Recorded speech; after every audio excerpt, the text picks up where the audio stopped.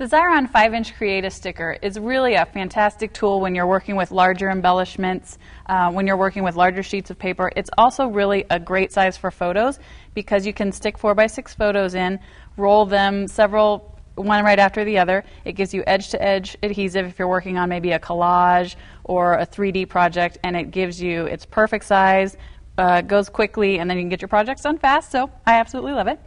Um, this is very similar to some of the other machines. We're going to crank the handle, um, and it's really easy to use. What I also like about it is there's graphics and text, so in case we forget how to use it temporarily, um, there's images that show you which side of the paper you want to have up, and then there's also writing at the back that tells you to tear off um, the paper once you've run it through. So go ahead and we roll the handle away from you, and the pattern paper is going to be facing up.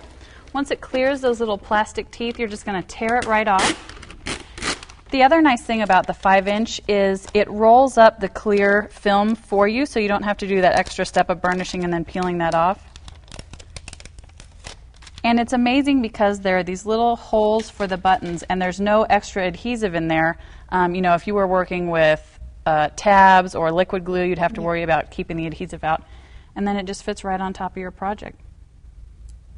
It's beautiful. You're so crafty and lovely.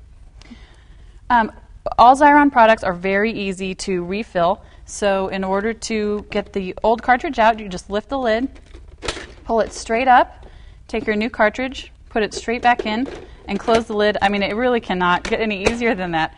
Um, the 5 inch has two different refills, permanent and repositionable. Um, what I like about all Xyron products is that if you want to use both, one for one type of project, one for the other, they're interchangeable. You don't have to use the entire permanent refill before you can add a repositionable one. You can take them in and out as you wish. They're also color coded, so when you're in the store, um, pink is permanent and green is repositionable, so you know which one you're looking at when you're in the aisle. For more ideas on how to use your 5-inch Create a Sticker, go to xyron.com slash projects.